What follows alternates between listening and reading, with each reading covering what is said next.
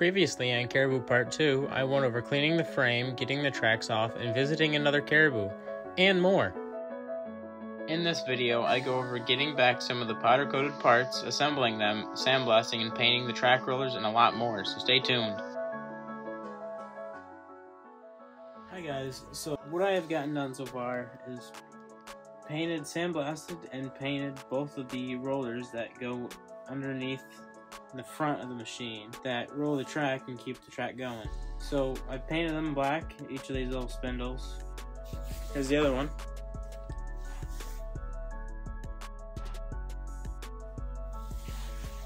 And I've painted some of the bolts.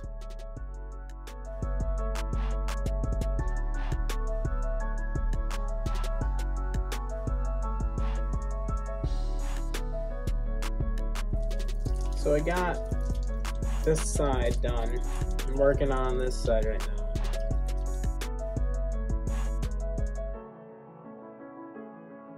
So what I'm doing now is I'm using Nevr-Dull.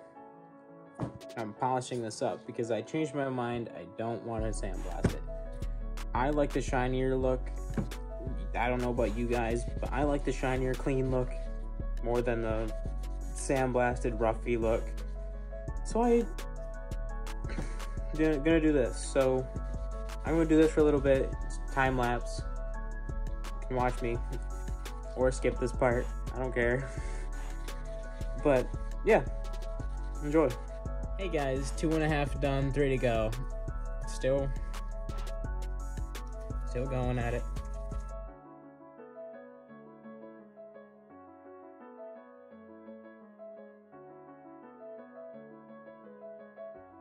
So I've upgraded. I got a mother's power cone.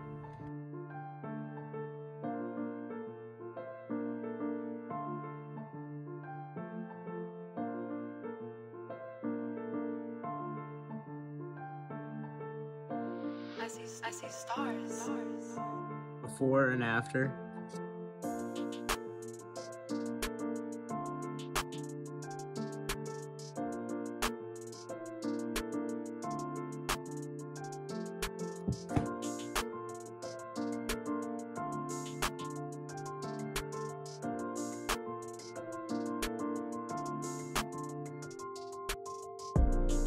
Hey guys, so unfortunately the rest of the video is going to be pictures because I wasn't able to get any more videos along the process. There's so little I've been doing, I'm still waiting to get the frame back in order to get any farther.